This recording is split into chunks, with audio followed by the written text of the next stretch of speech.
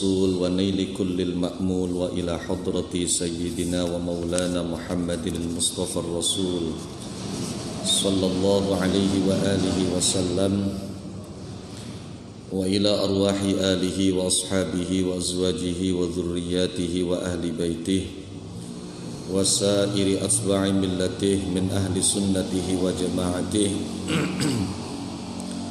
خصوصا أولياء وصلحاء أمته وإلى أرواح جميع مؤلفي ومصنف الكتب الشرعية وآلتها خصوصا مؤلفي ومصنف الكتب التي تعلمنا وعلمناها. وإلى أرواح جميع مشايخنا ومعلمينا وأساتذنا ومن استفدنا عنده ومن أجازنا من المبتدأ إلى المنتهى. ثم إلى أرواح جميع أصحاب المعاهد الدينية. والمجالس العلمية السنية التي أسست على السنة والجماعة ثم إلى أرواح جميع مؤسسي جمعية نهضة العلماء ورؤسائها شورية وتنفيذية ومعمريها ومساعديها ومن أحسن إليها ومن كان سببا في انتشارها ونخص خاصة إلى روح مؤلف هذا الكتاب ترجمان العارفين ابن عطاء الله السكندري والشيخ عبد الله بن حجاز الشرقاوي رحمهم الله ونفعنا بهما وبعلومهما وبعلوم مشايخنا وعلوم سائر عباده الصالحين في الدارين آمين. الفاتحة.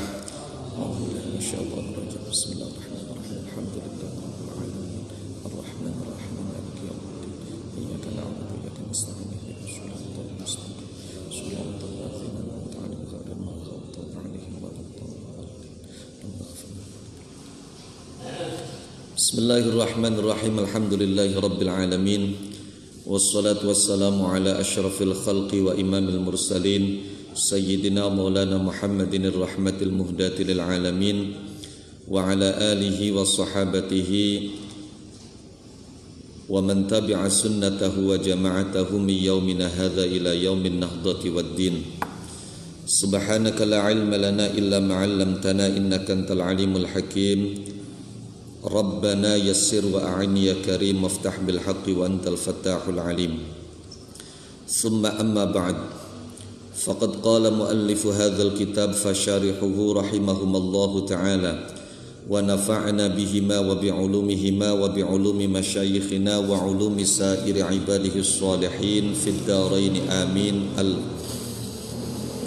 ما نفع القلب syai'un mithlu uzlatin yadkhulu biha midana fikrah maidana fikrah. Ma nafa'a ora manfaati. Al qalba ing ati ay qalbal muridi tegese atine murid. Manfaati dalam segi fit tathiri ing dalam nyuceni. Min ghafalatihi saking piro-piro kelalene qalb wal qurbilan parek ila hadrati maulahu maring ngersane bendarane murid. Opo kang ora manfaati opo syai'un opo sewiji-wiji mislu uzlatin kang madani uzlah. Apa uzlahku? Ayat tizalun tegese dadi nyingkrih. Ayat tizalun tegese dadi nyingkrih nyingkrih anin nasi saking menusa yadkhulu kang manjing. Opo qalb biha kelawan uzlah manjing maidana fikratin midana fikratin ing medane atau lapangane tafakkur. Ai fikratin tegese tafakkur syabihatin kang diserupaaken bil maidani kelawan medan lapangan gelanggang.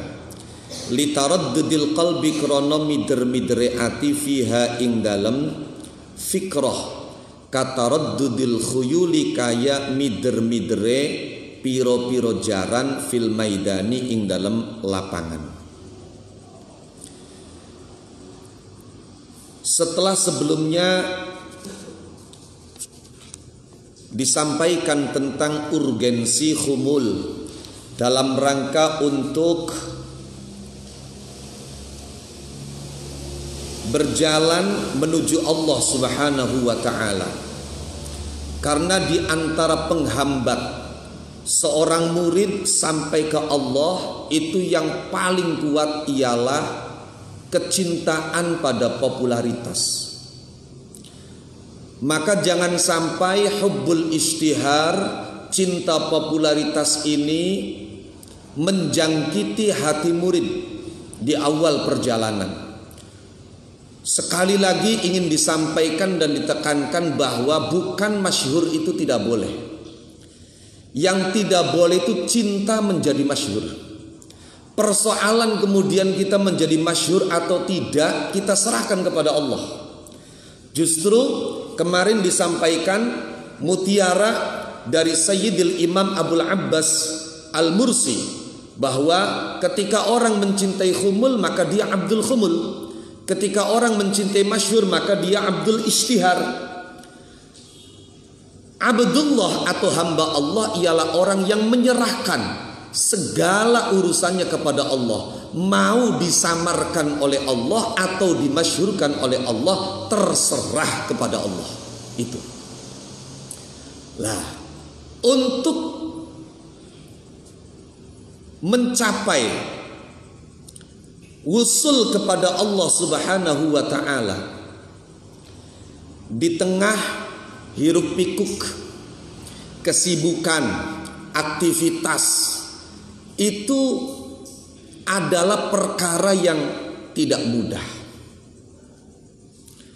Perkara yang sulit.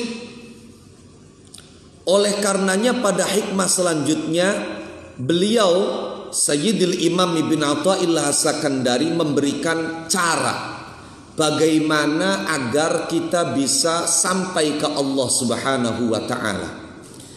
Beliau katakan mana fa'al qalba syai'un mithlu uzlatin yadkhulu biha maidana fikrah. Tidak ada yang bisa bermanfaat tidak ada yang bisa memberi manfaat hati seorang murid agar hati itu menjadi bersih dan layak berada pada hadrah Allah Subhanahu wa taala yang seperti uzlah. Jadi artinya uzlah dalam rangka agar hati seorang murid itu bisa bersih, bisa layak bisa pantas berada di hadroh ilahiyah ketika ditopang oleh uzlah maka ini akan dahsyat sekali tidak ada selain uzlah yang bisa memberikan manfaat yang signifikan untuk hati seorang murid dalam rangka perjalanan menuju Allah Subhanahu wa taala. Akan tetapi uzlah saja belum cukup.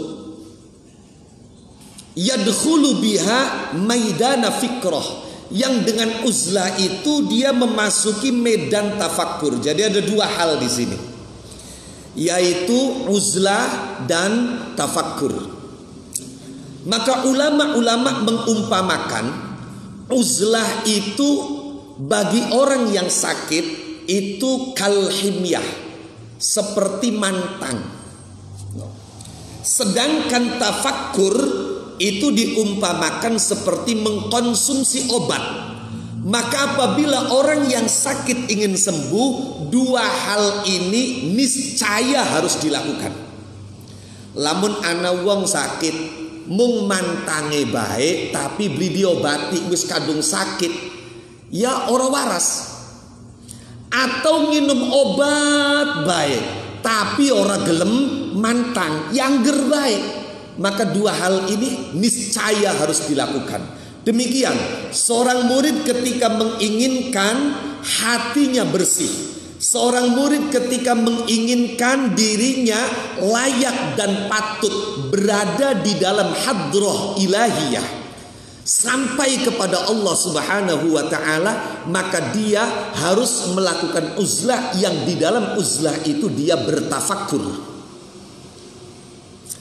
Lah kemudian nanti objek tafakur itu ada dua.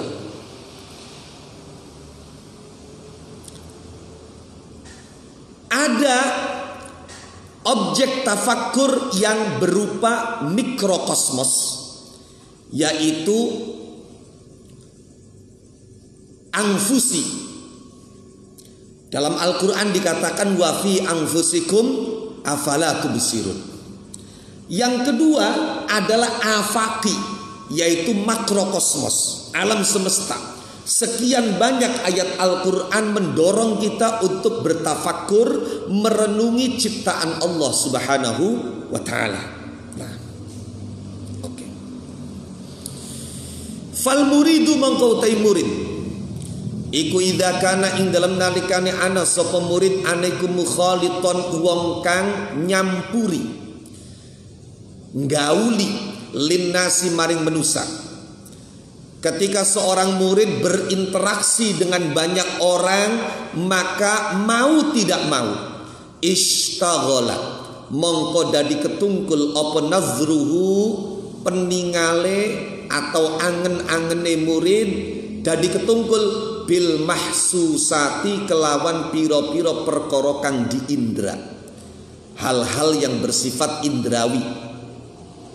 Fala yatafakkaru mongko ora tafakur ora mikir ora merenung apa qalbuhu atine murid illa fiha kecuali ing dalem al mahsusat wala yazalulan ora mari-mari sapa murid ora mari-mari iku naziran wong kang ningali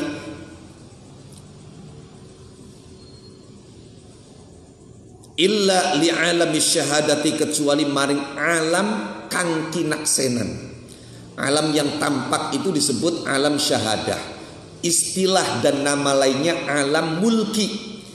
Di belakang alam syahadah itu alam gaib. Istilah lainnya alam malakut.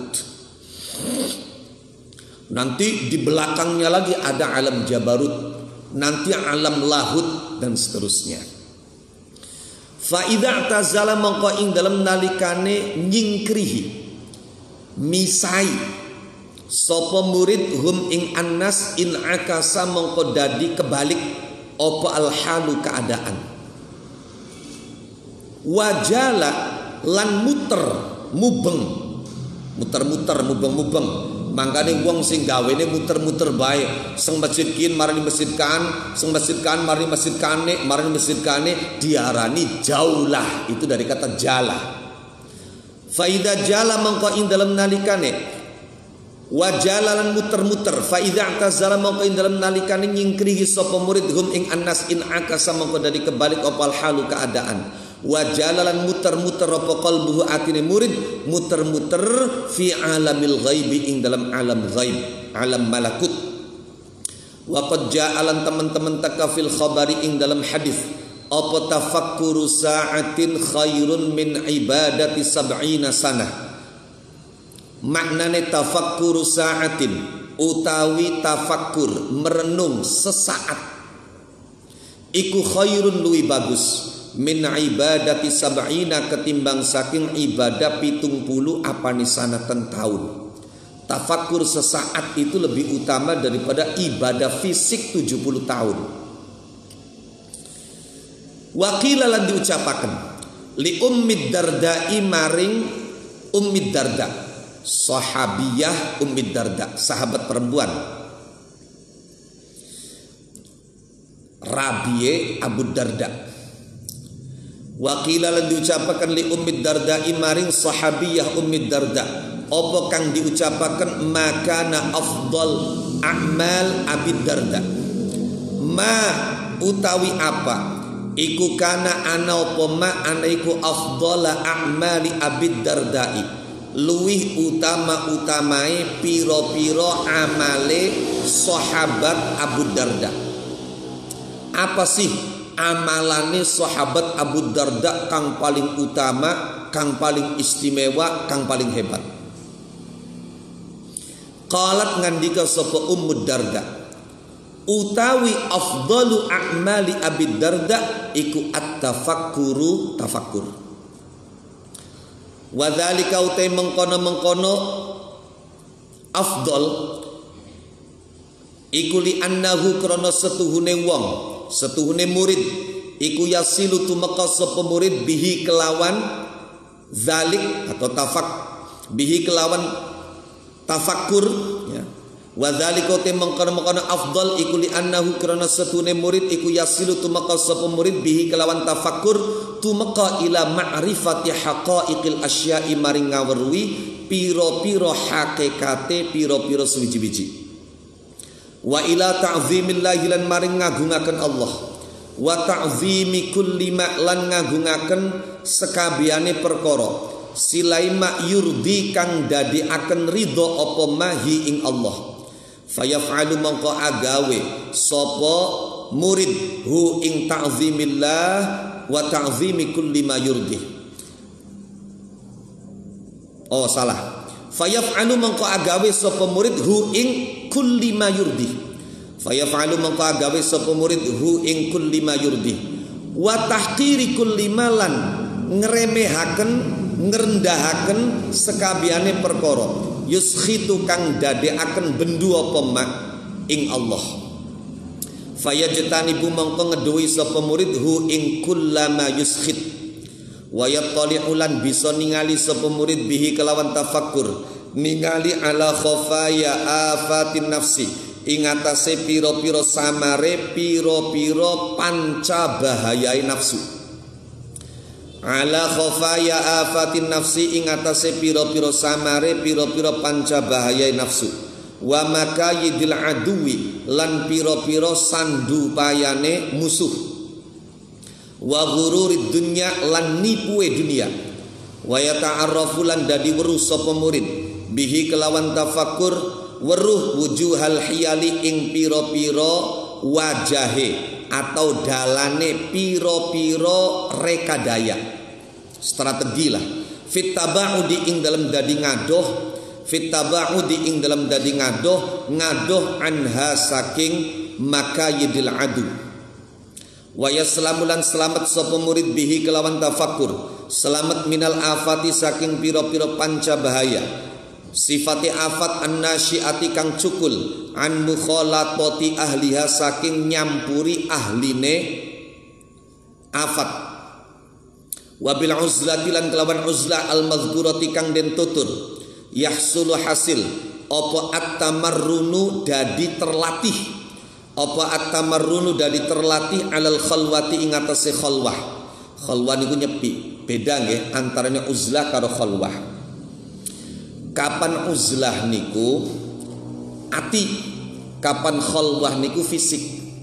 No. Jadi kadang-kadang orang itu uzlah padahal dia di tengah-tengah banyak orang Ketika apa? Ketika batinnya terpaut dengan Allah Subhanahu wa taala. Jadi zahiruhu ma'al khalqi wa batinuhu ma'al haq itu bisa. Tapi kalau khalwah itu fisik kita memang menyendiri, itu namanya khal khalwah. Wabil uzlati lan kelawan uzlah al mazkurati kang den tutur yahsul hasil apa tamarrunu dari terlatih alal khalwati ngatasi khalwat allati hiya kang utawi khalwah iku ahadu arkanit tariqi. Salah sijine piro-piro rukune dalane dadi wali. Iku ahadu arkanit tariqi salah sijine piro-piro rukune dalane dadi wali. Al arbaati kang ana papat. Bin nisbati kelawan dinisbataken lil muridina maring piro-piro murid kabeh. Lah jadi rukuni wong pengen dadi wali niku ana papat. Sing pertama kholwat. Kholwat. Lah, selebihnya apa? Wabaqiha utawi sekarine arkanit tariq iku asumtu meneng. Diam.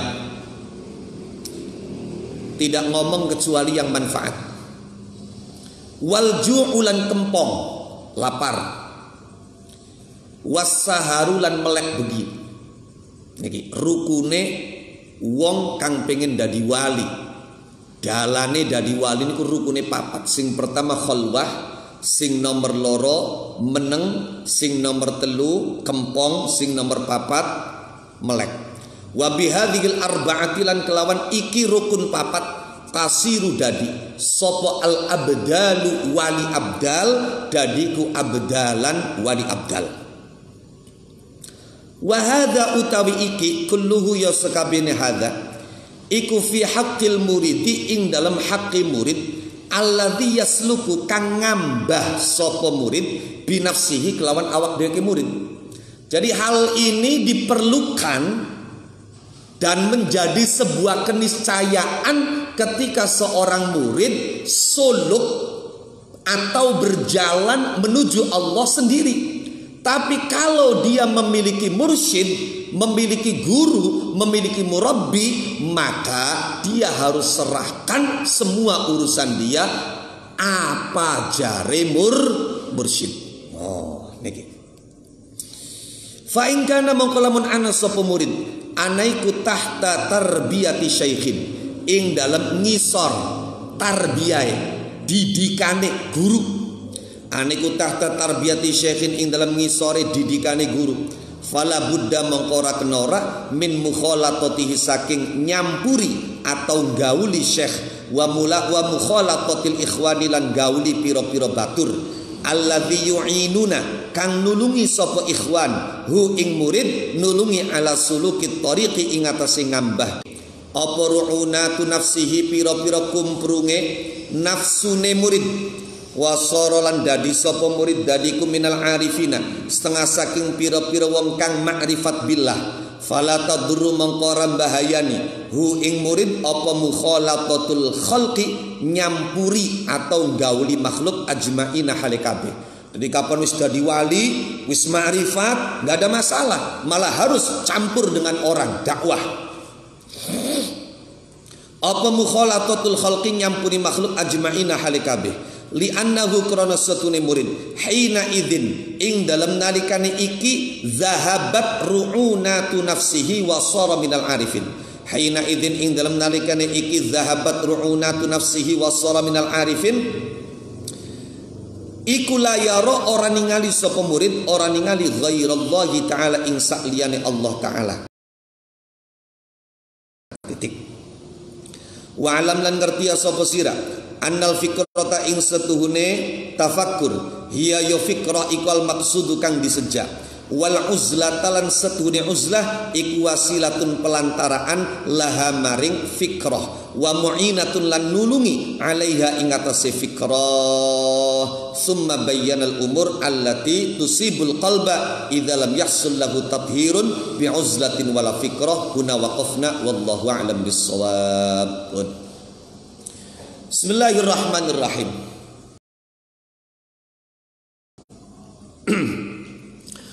Ma nafa'al qalba. Ay qalbal murid syai'un mislu uzlatin yadkhulu biha maidana fikrah. Tidak ada yang bisa memberi manfaat hati seorang murid seperti yang diberikan oleh uzlah. Yang dengan uzlah itu dia memasuki medan tafakur jadi artinya ketika seorang murid hatinya ingin bersih dari rodail ingin terhias dengan fadail hatinya ingin bersih dari mazmumat kemudian diisi dengan mahmudat ketika hatinya ingin bersih dari yang qabih dan diisi dengan yang sahih. Hati pengen suci pengen bersih. Karena hanya orang-orang yang berhati bersihlah yang akan beruntung. Hanya orang-orang yang berhati bersihlah yang akan diterima menghadap Allah Subhanahu wa taala Al-Quran mengatakan Qad aflaha man tazakka Di dalam ayat lain Allah menegaskan yaumala yang yanfa'u malu wala banun illa man atallaha biqalbin salim. Nah, agar hati ini menjadi hati yang salim, hati yang sahih, hati yang bersih. Agar hati ini pantas berada di dalam hadrah Allah Subhanahu wa taala, maka yang bisa menghantarkan itu ada banyak hal. Tapi dari sekian banyak itu tidak ada yang manfaatnya sesignifikan yang diberikan oleh uzlah yang dibarengi dengan tafakur. Tadi uang itu pengen bersih hati nih. Melalui ngaji bisa melalui sholat bengi, zikiran bisa, melalui maca Quran bisa, melalui macam-macam. Nah, tapi tidak ada yang melebihi bahkan yang seperti uzlah. Jadi uzlah ini ibarat obat itu adalah obat yang sangat mujarab. Tadi Al-Fakir sudah singgung bahwa ulama-ulama mengumpamakan mengumpamakan uzlah itu dengan mantan dan tafakur itu dengan obat. Maka apalah artinya mantan kalau tidak diobati? Apalah manfaatnya obat kalau yang sakit itu tidak mau man mantan? Maka demikian. Dua hal ini harus dilakukan bersama-sama. Dua hal ini harus dilakukan bersama-sama. Karena orang ketika berinteraksi dengan orang lain, ketika campur dengan orang lain, ketika bergaul dengan orang lain, maka matanya, telinganya, mulutnya, dan organ-organ tubuhnya yang lain akan sibuk dengan hal-hal yang bersifat indrawi. Selama dia itu berada di tengah-tengah orang banyak, maka dia akan melihat banyak orang bermacam-macam. Dia akan mendengar omongan yang bermacam-macam. Dia akan apa namanya menyaksikan fenomena yang beragam. Nah, ini semua yang dia lihat, yang dia dengar, yang dia sentuh, ini akan mengganggu fokus dia. Bagaimanapun akan mengganggu hati dia. Ya wis lah nih. Ana wong, contoh gampang mawon, ana wong tes deleng wong tukaran. Toli mapan ning jero kamar arepan turu. Pasti sedurunge turu kepikiran wong tukaran. Ana wong kepengen sholat. Eh nalikane liwat ning dalan ketemu karo wong wadon ayu. Ketemu karo wong dagang. Sedikit atau banyak maka pasti itu akan melintas di dalam pikirannya. Lah itu. Maka selama kita itu berinteraksi dengan banyak orang, Selama kita bergaul dengan banyak orang, maka apa yang kita saksikan, apa yang kita lihat, apa yang kita dengar, itu akan mempengaruhi hati kita. Itu. No. Sehingga hati kita akan tafakur, mau tidak mau, akan berpikir, akan merenung, akan melihat Berbeda keadaan ini akan menjadi terbalik ketika kita melakukan uzlah. Bahkan Bang Apunten. Kadang-kadang untuk mengetahui dan menyadari kesalahan tanpa menjalani uzlah itu sulit. Perangsai bener baik. Perangsai bagus baik. Ana sing ngalokaken gawe pembelaan.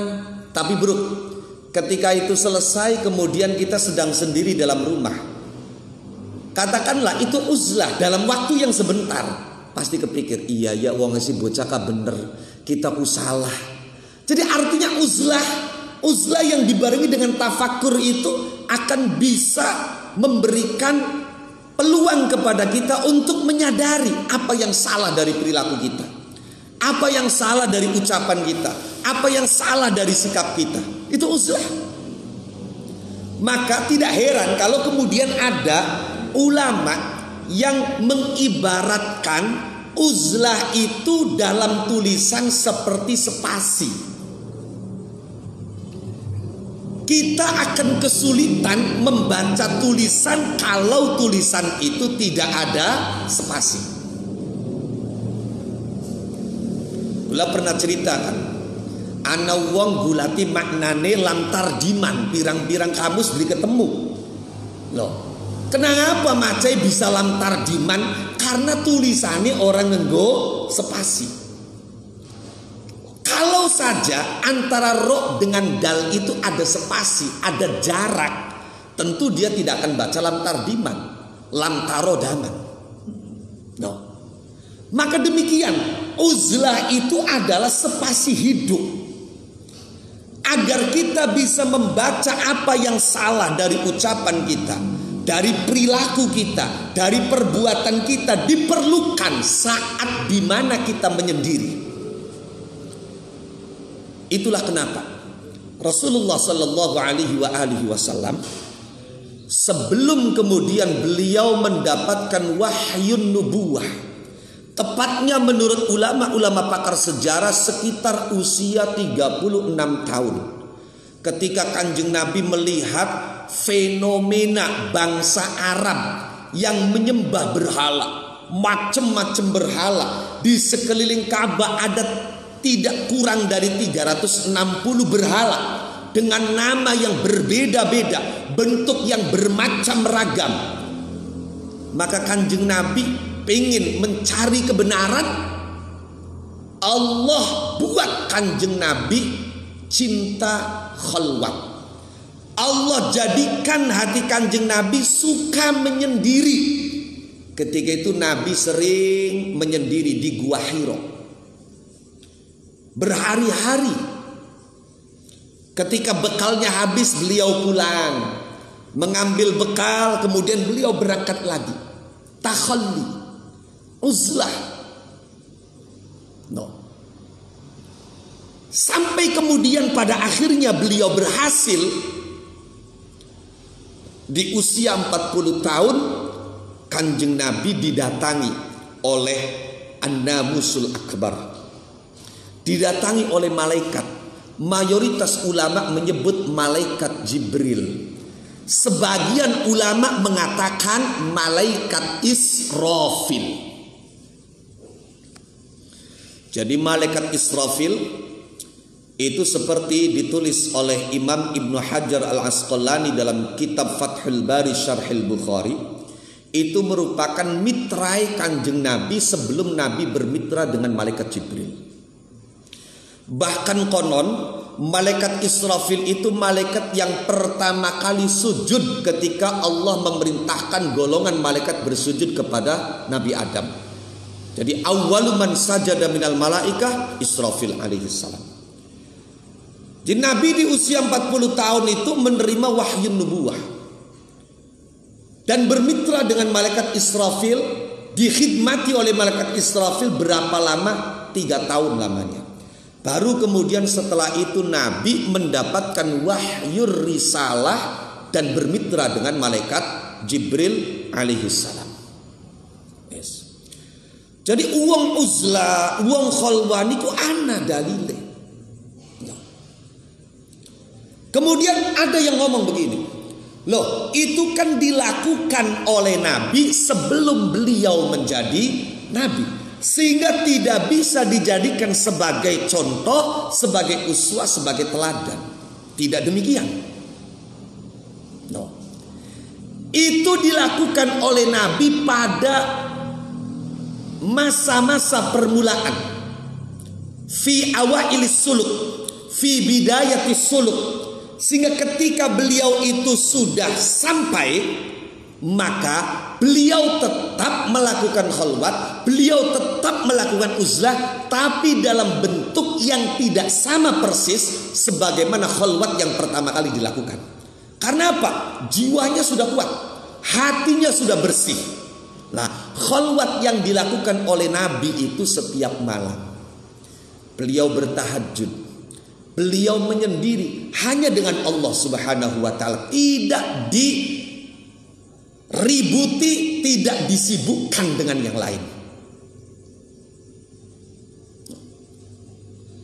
Maka sahabat-sahabat pun melakukan hal yang sama.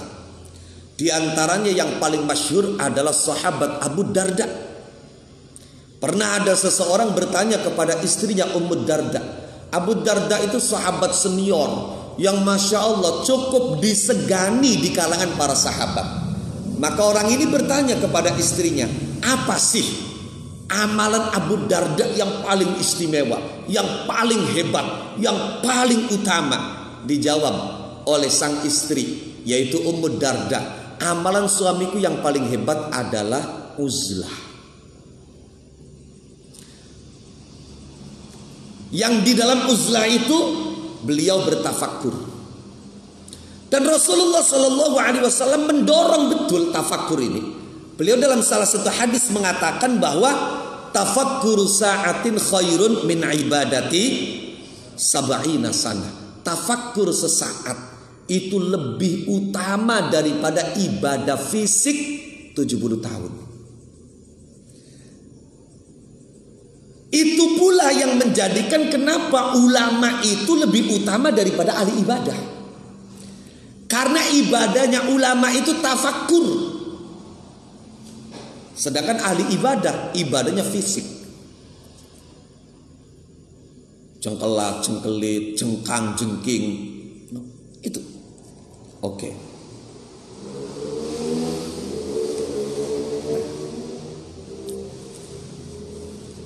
Uzlah dalam arti khalwat ini merupakan salah satu dari empat pilar jalan kewalian. Pilar yang kedua adalah diam. Memang Rasulullah Shallallahu Alaihi Wasallam mengatakan, "Man kana yu'minu billah wal yaumil akhir falyakul khairan au liyasmut." Orang kalau betul-betul beriman kepada Allah dan hari akhir, maka berkata baik, kalau tidak dia akan memilih diam.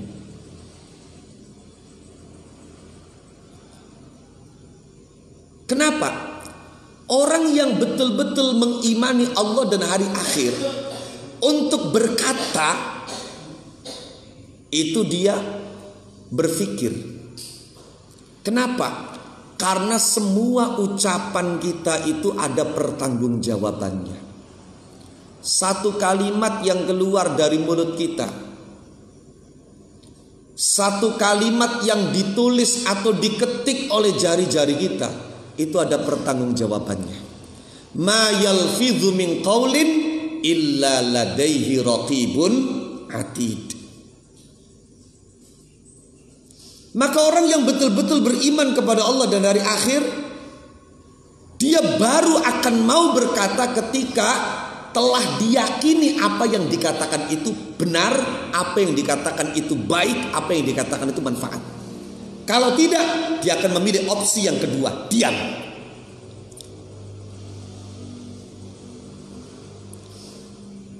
Al-Fakir wal Muznib pernah mendengar salah seorang kiai di Nusantara ini yang beliau katakanlah bernadar bahwa tidak akan ngomong kecuali zikir tidak akan berbicara kecuali menyangkut persoalan ilmu. Dari sampean kapan suwan ning kiai kunku ya wis kaya wong neng-nengan. Kane meneng bae sampeyan keder ngomong apa. Nah, itu. Tapi kalau sudah ditanya tentang persoalan ilmu diajukan masalah-masalah ilmiah wah wis masya Allah telung jam masa Maria ngobrol itu dan subhanallah Imam Abu Hamid Muhammad ibn Muhammad ibn Muhammad Al-Ghazali At-Tusi. Oke, kita selesaikan dulu ya. Pilar pilar jalan untuk menjadi wali. Yang pertama adalah uzlah atau khalwah. Yang kedua adalah diam. Karena memang ciri orang yang mukmin betul-betul mukmin itu adalah dia berkata kalau memang diyakini perkataannya itu benar, perkataannya itu baik. Kalau tidak, dia diam. Yang ketiga adalah alju, lapar. Kenapa? Karena orang lapar itu dia akan memiliki rasa yang kuat. Dia akan memiliki empati yang besar, simpati yang luar biasa. Itu ketika lapar. Karena dia merasakan betul. Itulah kenapa Nabi Muhammad ketika ditawari gunung Uhud menjadi emas, beliau menolak. Beliau lebih memilih kehidupan yang normal, kadang-kadang kenyang, kadang-kadang lapar. Agar apa? Ketika kenyang bisa bersyukur, ketika lapar bisa bersabar. Ketika ada mau berbagi dengan orang lain.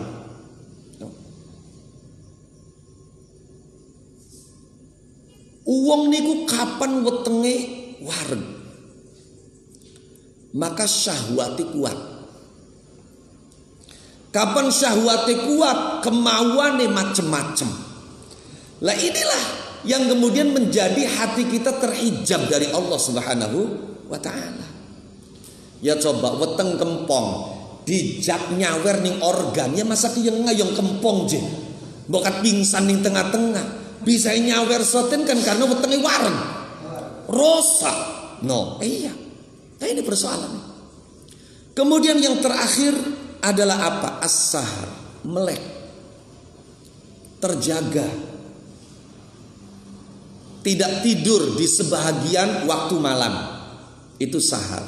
Kenapa? Karena itu merupakan waktu yang paling istimewa waktu di mana interaksi kita dengan Allah Subhanahu wa taala tanpa pelantara. Allah itu setiap sepertiga malam itu dalam sebuah hadis itu berfirman, "Hal min mustaghfirin fa'aghfirullah, hal min ta'ibin fa'atuba alaih, hal min sa'ilin fa'u'tiya, hal min da'in fa'astajibalah." Siapa yang mau bertobat aku terima taubatnya. Siapa yang mau meminta ampunan aku ampuni. Siapa yang meminta aku kasih. Siapa yang berdoa aku kabulkan. Itu di sepertiga malam adanya Maka itulah para aulia illah Para kekasih Allah Itu mereka sempatkan terjaga di saat-saat itu Kenapa? Karena saat itu interaksi mereka dengan Allah tanpa pelantara Langsung sinyalnya kuat.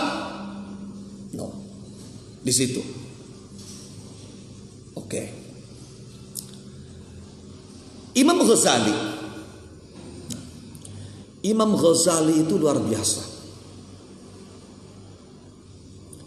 Salah satu dari sekian banyak kebanggaan madhab syafi'i Imam Ghazali. Beliau mutafannin. Hampir semua disiplin ilmu itu dikuasai oleh beliau. Bahkan beliau itu kritikus. Tidak sedikit ilmu itu dikritik oleh beliau. Tapi mohon maaf, kritiknya Imam Ghazali itu bukan kritik buta. Kadang-kadang kita kan buta. Artinya buta apa? Kalau itu bukan dari kelompok kita, kalau itu bukan dari golongan kita, kalau itu bukan dari partai kita, wis harapan bener, harapan salah, serang. Bukan ngono. Kritik habis. No. Bantah. Patahkan. Imam Ghazali tidak. Kadang-kadang dan kula dewek melihat fenomena karena saya memasuki kedua dunia itu Kula awal mondok niku ning pondok kitab. Teng pondok kitab. Sekitar 10 11 tahun lah. Nah, setelah itu kemudian pindah di pondok Quran. Saya melihat fenomena yang berbeda. Ketika kula ana ning pondok kang ning kono kabeh santri santri kitab, kapan muni ngandakaken santri Quran ya ora bagus. Ah, ngapalaken Quran di ngerti artiye kayak manuk ngoce. Oh. Ngremeng beli karuan. Wis. Ketika disodori hadis tentang keutamaan-keutamaan orang yang hafal Quran, dijawab, kasing mateni sahabat Ali kah? Iku wong sing hafal Quran. No. Iya.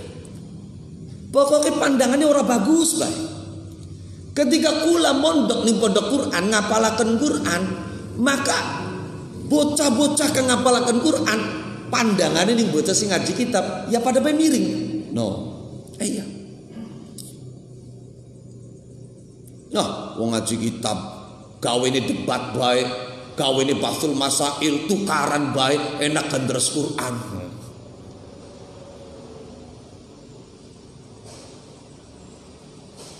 Padahal tak delenggi bocah kitab sing ngritik santri Quran ora apal Quran.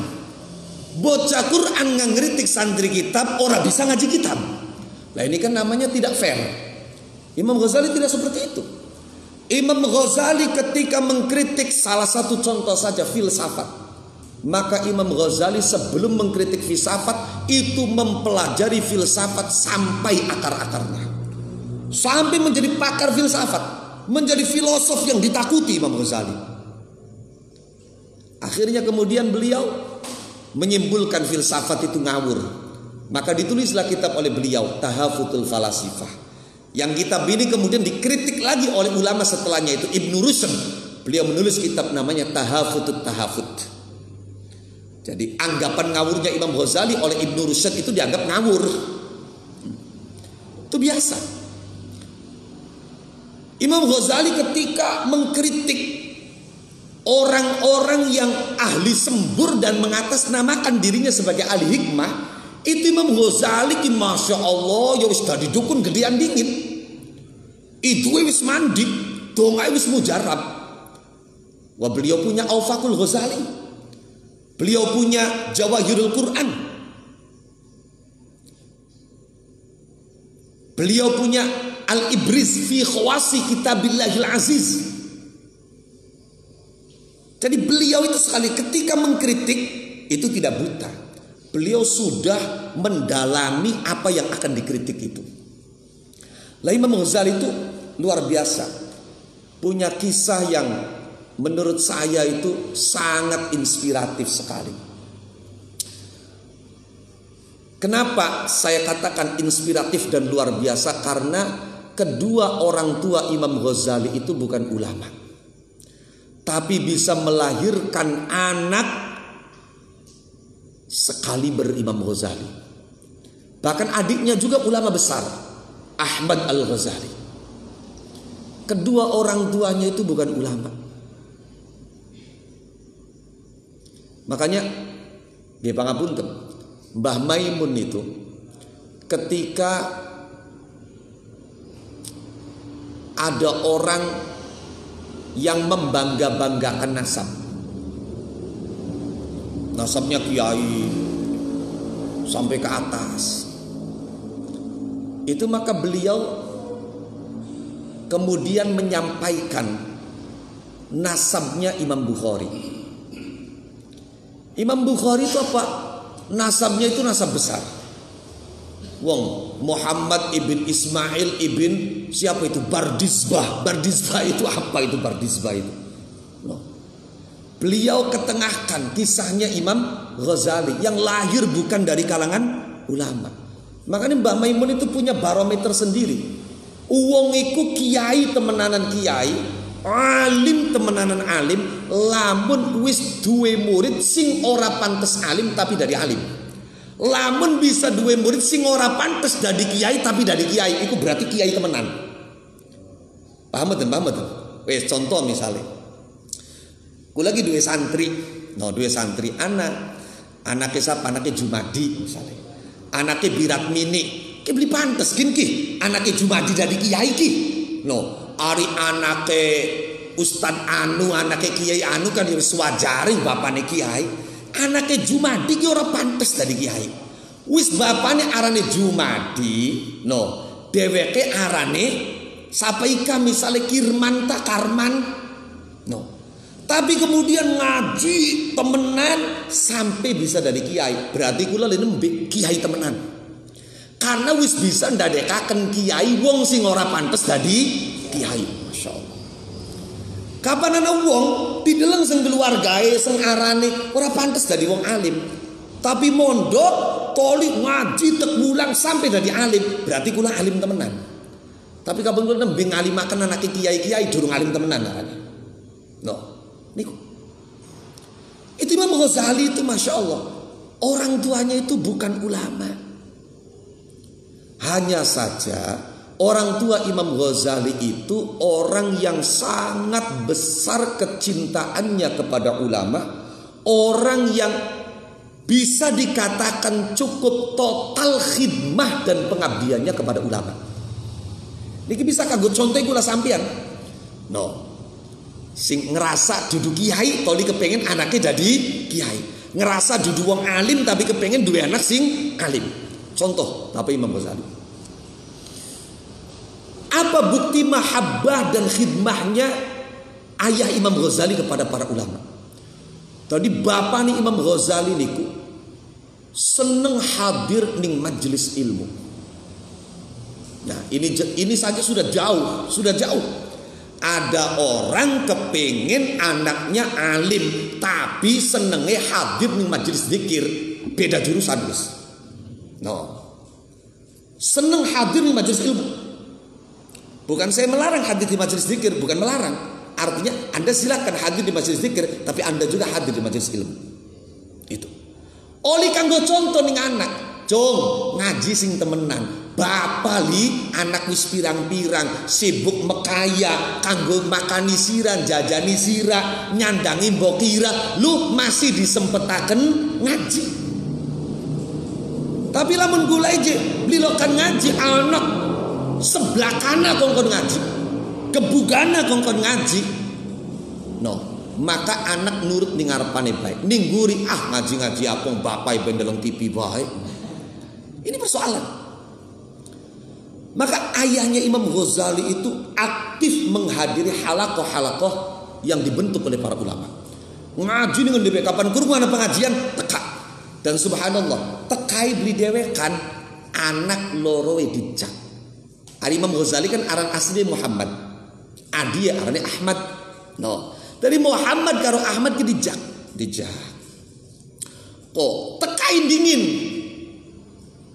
Aja pun sih.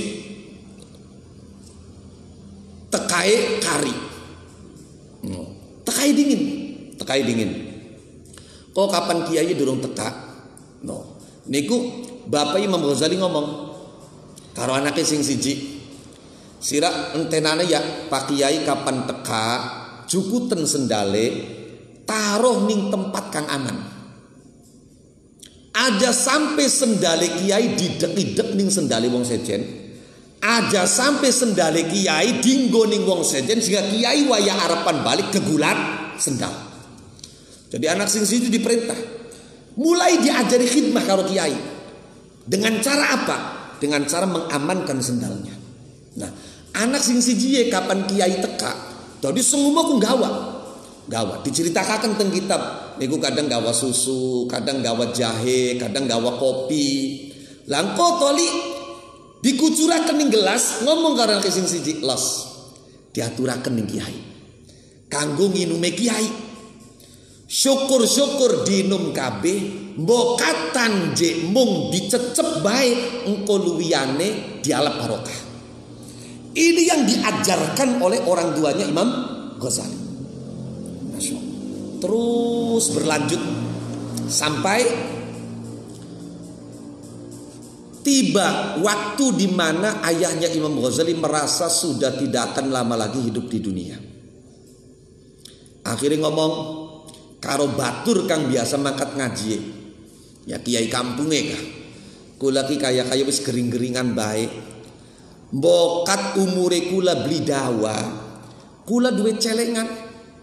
Ki mangga celengane tek cekelakening sampean kanggo peranti biaya ngaji anake kula. Kula titip anake kula jaken mendebai sampean makat ngaji. Eh betul, tidak lama ayahnya Imam Ghazali wafat. Maka kemudian urusan Imam Ghazali ngaji mendek dijak karo batu di bapane.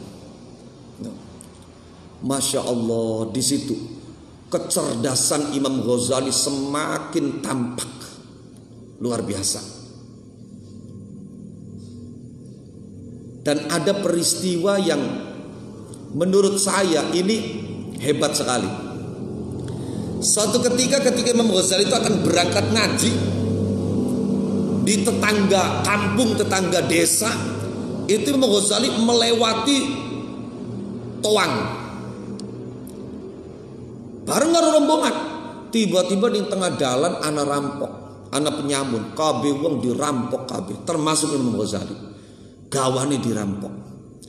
Termasuk buku-buku dirampas.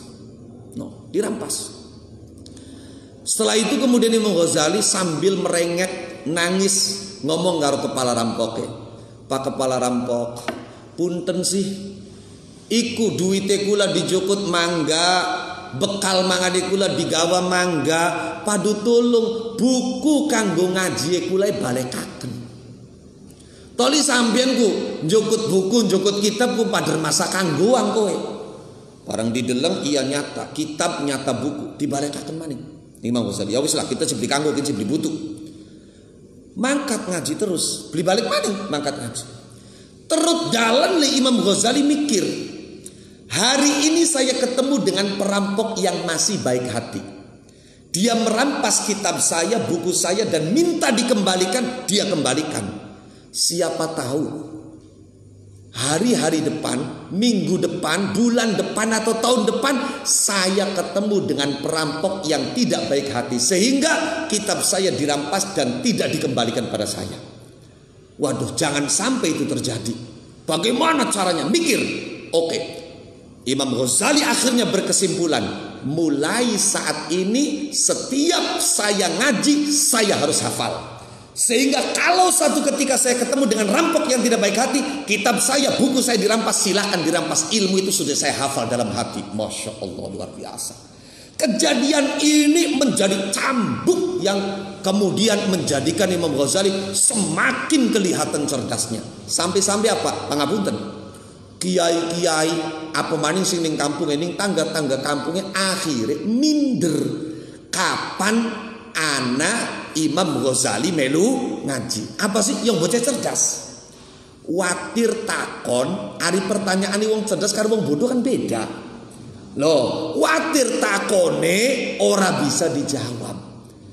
Sing nomor loro watir bokat keterangane anak ngelanture anak kang salah kawenangan salah yang bocah cerdas bocah pinter lah ngepasi ketika keresahan itu muncul duit kang dititipaken ning bapane Imam Ghazali entok. Akhirnya priben cari batu bapak nih ya wis sira anggap bae wis cukup ngaji ning kene kebenaran duit titipane nira wis entok cung. Jadi priben kita masih pengen ngaji dari Imam Ghazali ya. Ya wis kapan masih pengen ngaji? Yo tek rekomendasiaken ngaji ya ning madrasah an-nizamiyah. No, ngajian ning madrasah an nizamiyah kok kapan ngaji ning kanasi ana beasiswa gratis ngaji bahkan semangatnya ditanggung.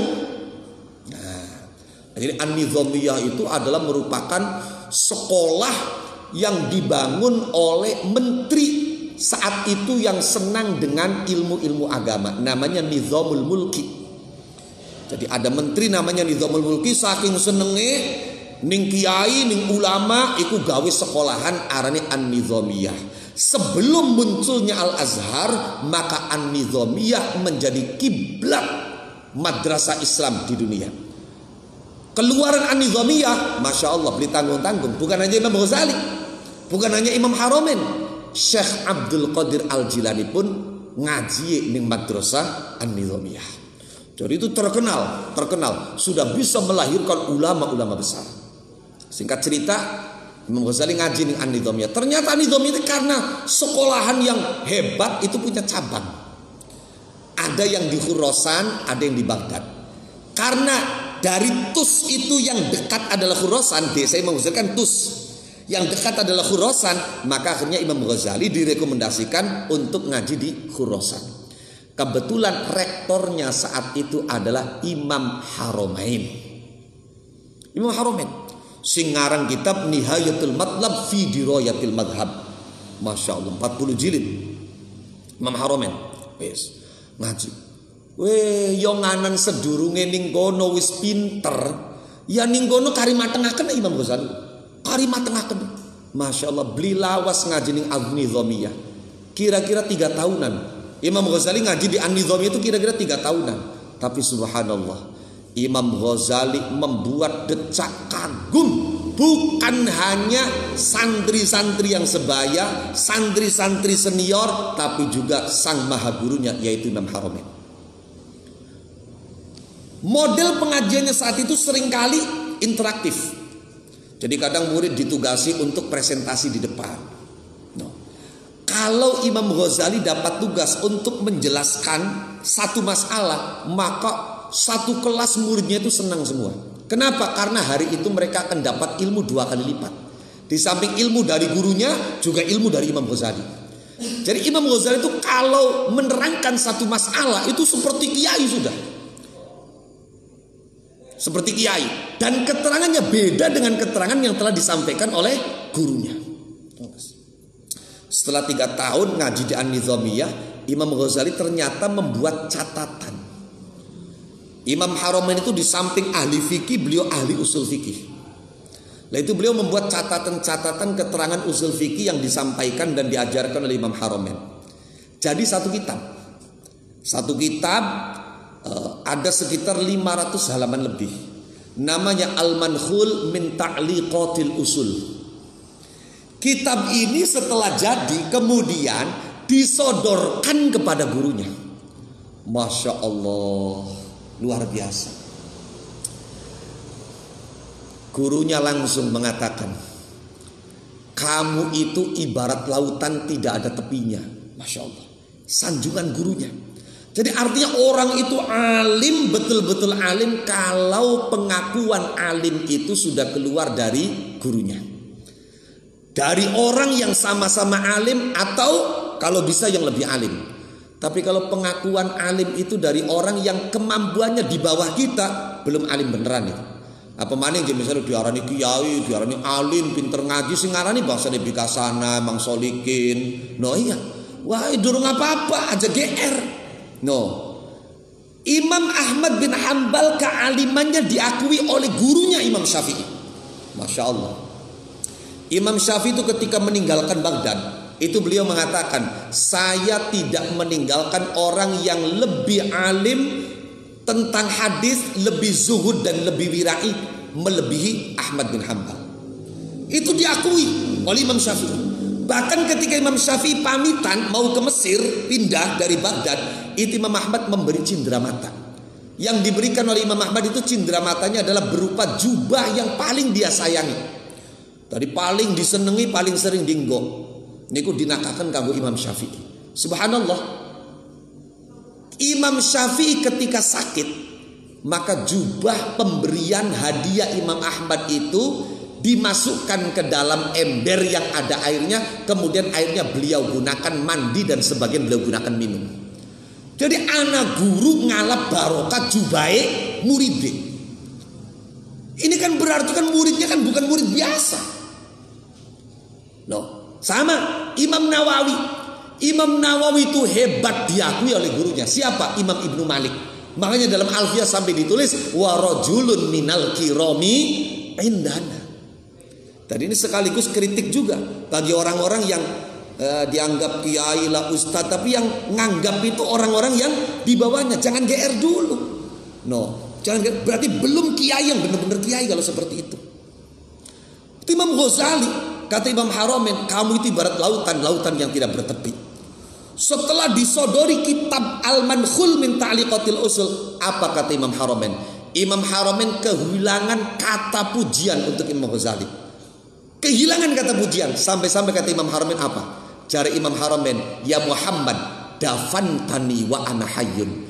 Sira masih dari santri wis duwe kayak karangan kayak kenen hebate pada baik karo mendemi menurut urip pada baik karo mendemi sun urip-urip jari guru lamun karangan ira sampai tersebar wah bakale payu sira kita beli payu. Itu itu bukan bukan bukan merasa tersaingi tidak. Saking Imam Haramin tidak menemukan kalimat pujian yang lebih dahsyat dari itu. Dafantani wa ana hayyun. Kamu masih jadi santri sudah punya karangan hebat seperti ini sama saja kamu mengubur saja hidup-hidup tidak lama kemudian Imam Haramain wafat. Imam Haramain wafat, lah itu biasanya menteri Nidhamul Mulki itu setiap tahun kunjungan ke madrasah-madrasah yang dia bangun, termasuk di madrasah An-Nidhamiyah yang ada di Khurasan. Akhirnya apa? Akhirnya e, dirapatkan dirapatkan siapa yang akan menggantikan Imam Haramain. Semua ulama sepakat Imam Ghazali tidak ada yang lebih pantas daripada Imam Ghazali untuk menggantikan kedudukan Imam Haramain. Maka terjadi diskusi antara Menteri Nizamul Mulki dengan Imam Ghazali. Yang pada akhirnya menteri ini berkesimpulan, wah jangan. Jangan Imam Ghazali, cari yang lain. Apa? Imam Ghazali tidak pantas kalau menjadi kepala madrasah di sini. Kenapa? Dia terlalu intelek, dia terlalu cerdas, dia terlalu pintar. Jadi apa? Saya langsung perintahkan bahwa dia harus menjadi kepala madrasah An-Nizamiyah yang ada di pusat di Baghdad. Masya Allah. Maka Imam Ghazali menjadi kepala madrasah An-Nizamiyah pusat. Di situ bisa dikatakan karir keilmuan Imam Ghazali mencapai puncak di situ. Bukan hanya karyanya yang semakin banyak, tapi pengakuan ulama kepada beliau. Santri-santri yang ingin ngaji sama beliau akhirnya berada di puncak. Masya Allah. Gaji Imam Ghazali orang kalah karo menteri. Ketika itu wih luar biasa. Wis jadi wong mewah sugih. Tapi kemudian apa yang terjadi?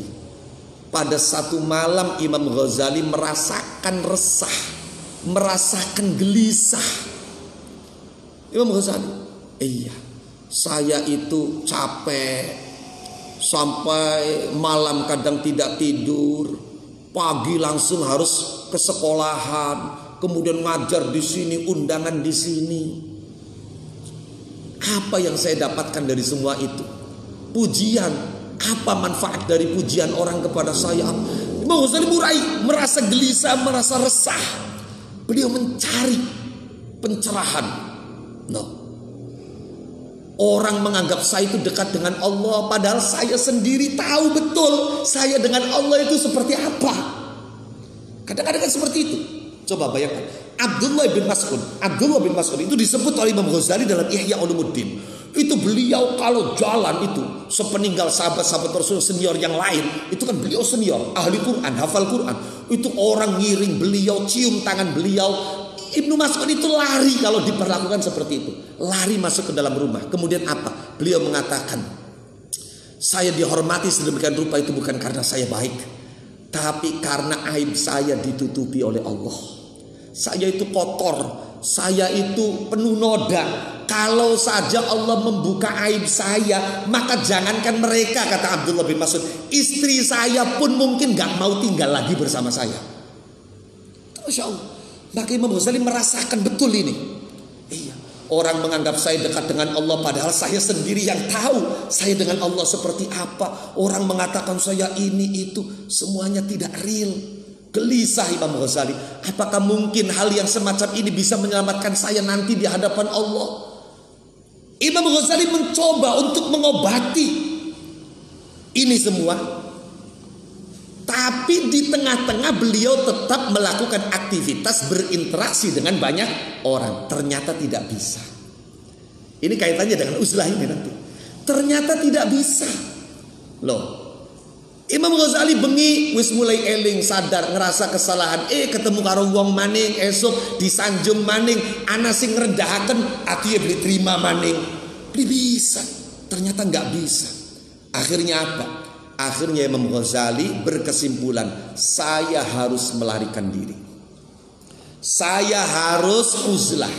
Saya harus menyendiri untuk bisa membaca apa yang harus dibenahi, apa yang mesti diperbaiki, apa yang harus ditingkatkan. Selama saya masih kumpul dengan mereka semua tidak bisa. Kita sembayang, ning uma dinteni santri pirang-pirang tamu pirang-pirang. Jamaah ning pondok misalnya santri pada delengaken KB ya coba bisa khusus kepriben dong sembahyang didelengaken wong pirang-pirang. Marani ning masjid kampung wong ngerti KB ning kita kenal KB ning kita waduh dorong-dorong mancing masjid wis dimangga-manggaken sendal wis ditatakan aduh hati saya ini. Masya Allah. Ini akhirnya apa? Ya wis tapi kalau Imam Ghazali mengatakan akan pergi ke suatu tempat, pasti muridnya ikut semua. Muridnya ikut semua karena muridnya sudah fanatik. Priben becarai. Duh, Imam Ghazali. Maka akhirnya apa? Apalagi kalau saya itu minta izin sama menteri, pasti tidak akan diizinkan. Akhirnya satu-satunya cara Imam Ghazali setengah bebodoh, walaupun dia orang bebodoh. Imam Ghazali izin untuk pergi berangkat haji. Padahal tujuan utamanya bukan haji. Jadi haji ini hanya wasilah saja. No. Dan betul memang Imam Ghazali berangkat haji. Tapi selepas haji beliau tidak pulang. No, beliau tidak pulang. Beliau singgah di Damaskus. Di Syria. Loh, di Syria.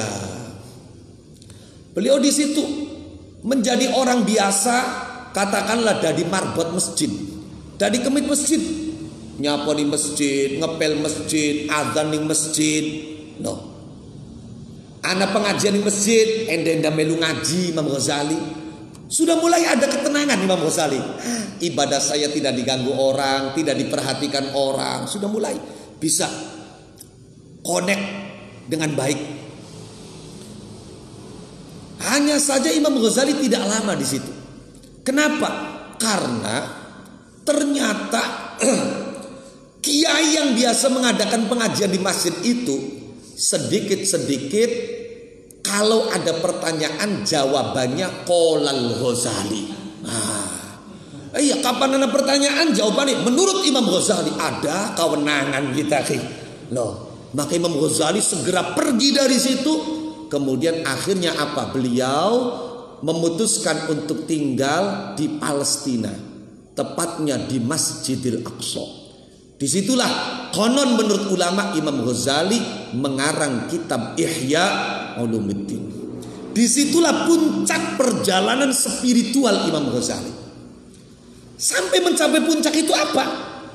Tadi melalui uzlah dan tafak, tafakur melalui uzlah dan tafakur. No. Kemudian akhirnya singkat cerita dari wali lah Imam Ghazali. Kemudian beliau berkenan untuk kembali ke Baghdad dan beliau mengajar kembali setelah meninggalkan mengajar cukup lama tapi ketika beliau mengajar untuk yang kedua kalinya itu dengan wajah baru, dengan hati yang baru kalau sebelumnya li ajli sana innas agar mendapat pujian dari orang, agar mendapat penghormatan dari orang, agar diakui oleh orang. Tapi setelah itu Imam Ghazali betul-betul lillahi taala. Itulah kemudian yang masyhur dikatakan Imam Ghazali itu mengatakan apa? Tolabnal ilma li ghairillah fa aba ayyakuna illa lillah. Mula-mula saya mencari ilmu itu karena selain Allah. Tapi berkat ilmu itu kemudian saya akhirnya dituntun bisa karena Allah Subhanahu wa taala. Oh, itu. Jadi kalau kita menginginkan hati ini bersih, kalau kita menginginkan hati ini pantas berada di hadrah ilahiyah hadra Allah Subhanahu wa taala, maka cara yang paling efektif adalah melalui uzlah yang di dalam uzlah itu kita bertafakur. No, untuk kita bisa membaca apa yang perlu diperbaiki, apa yang perlu dibersihkan, apa yang perlu dibuang, no, dari diri kita ini. On. Lah, terakhir, semua itu menjadi sebuah keniscayaan yang harus dijalani oleh seorang murid selama dia melakukan suluk sendi sendiri. Tapi kalau dia punya seorang murabbi, dia punya seorang mursyid, maka dia mesti berkonsultasi dengan gurunya, berinteraksi dengan gurunya, bahkan berinteraksi dengan sahabat-sahabat yang satu tujuan agar ketika ada yang salah bisa saling mengingatkan, ketika ada masalah bisa saling menguatkan. Oh, pun huna waqafna wallahu a'lam biswab al-Fatihah.